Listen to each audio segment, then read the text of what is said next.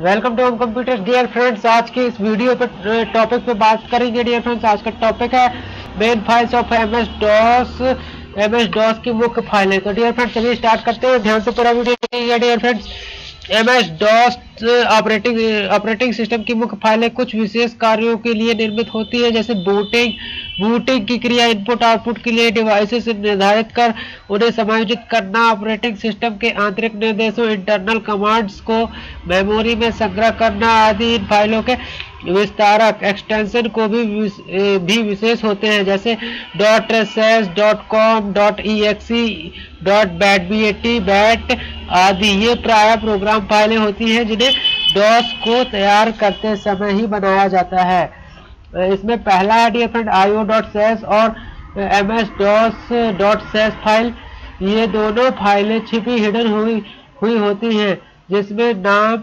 हम फाइलों की सूची को देख नहीं पाते हैं। ये प्रत्येक ये प्रत्येक डिस्क पर उपस्थित होती हैं, ये दोनों फाइलें बूटिंग के समय स्वतः ही कंप्यूटर में अस्थायी मेमोरी रैम में संग्रहित हो जाती है।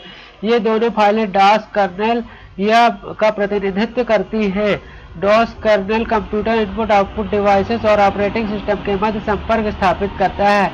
IO dot sys file input output devices से संबंधित क्रियाओं का मानक या स्टैंडर्ड को संग्रहित करके रखती है, जबकि M S DOS dot sys DOS kernel के लिए ऑपरेटिंग सिस्टम से संपर्क स्थापित करने के निर्देश को संग्रहित करके रखती है।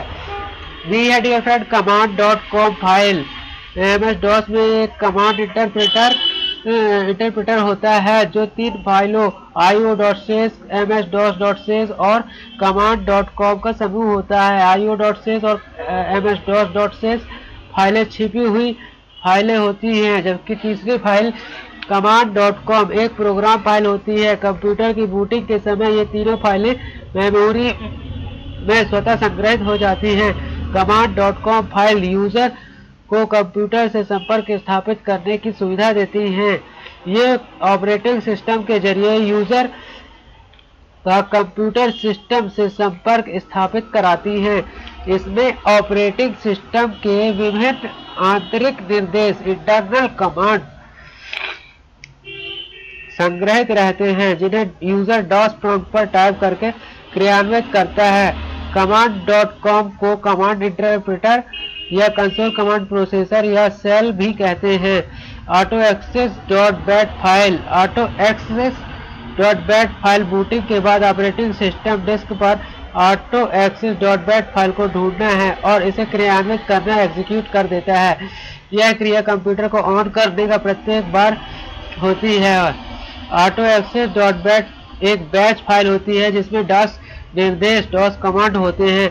यह एक प्रोग्राम फ़ाइल के समान इसमें लिखे निर्देशों को स्वतः क्रियान्वित एग्जीक्यूट करती है। इसलिए इसका नाम ऑटो एक्स अर्थात ऑटो ऑटो क्रियान्वयन या ऑटो एग्जीक्यूटेबल रखा गया है। इसमें एम एस डॉस के लिए प्रारंभिक निर्देश होते हैं, जिनसे हम डिस्क पर उपस्थित अन्य प्रोग्राम के रास्ते पाथ को निर्धारित करते हैं। बाद में डॉस को इन निर्धारित प्रोग्रामों को क्रियान्वित एग्जीक्यूट करने में सहायता मिलती है। Autoexec dot bat file में हम डिस्क पर उपस्थित सभी एप्लीकेशन प्रोग्राम की स्थिति बताने वाले डॉस कमांड संग्रहित करते हैं। जैसे path dot C colon W S semicolon C C colon slash D base semicolon C colon oblique Windows इस तरह से आपको दिखाते हैं।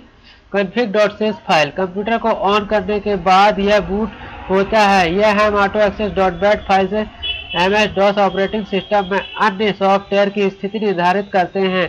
इसके बाद एम एस डॉस द्वारा कंप्यूटर में उपस्थित हार्डवेयर सॉफ्टवेयर की स्थिति निर्धारित करते हैं।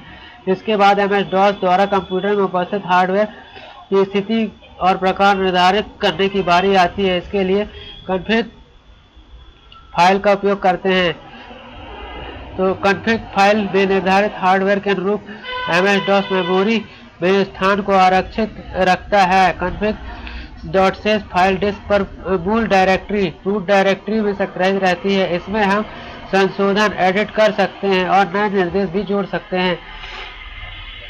तो इस तरह से डियर फ्रेंड्स कन्फिग फ़ाइल में लिखे जाने वाले निर्देश बफर